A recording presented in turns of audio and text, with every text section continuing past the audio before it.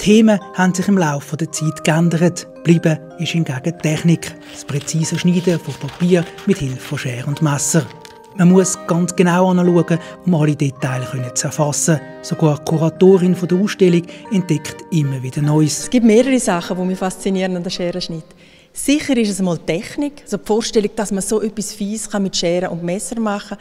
Aber natürlich auch, wenn man in die Tiefe geht, wenn man die inhaltliche Auseinandersetzung sieht mit spannenden Themen, wenn ein Scherenschnitt ein Geheimnis hat, das man nicht gerade auf den ersten Blick sieht.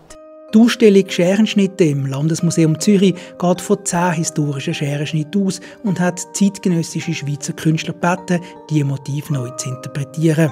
Zum Beispiel das beliebte Scherenschnittmotiv vom Alpaufzug.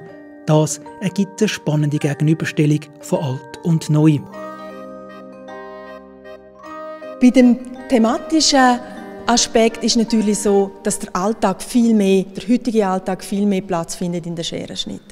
Das sind gesellschaftskritische Themen. Man geht auf Umweltprobleme, soziale Themen. Das hat der Scherenschnitt heute natürlich stark erweitert.